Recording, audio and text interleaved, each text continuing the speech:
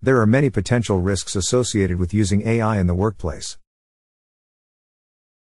One of the most significant risks is that AI could lead to mass unemployment, as robots and computer programs increasingly replace human workers in a variety of tasks. This could lead to social and economic instability, as large numbers of people are left without jobs and are unable to support themselves or their families.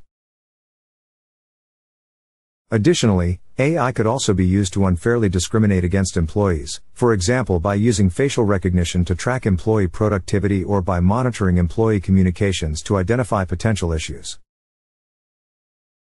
If AI is not properly regulated, it could also be used to violate employee privacy or interfere with their work life balance.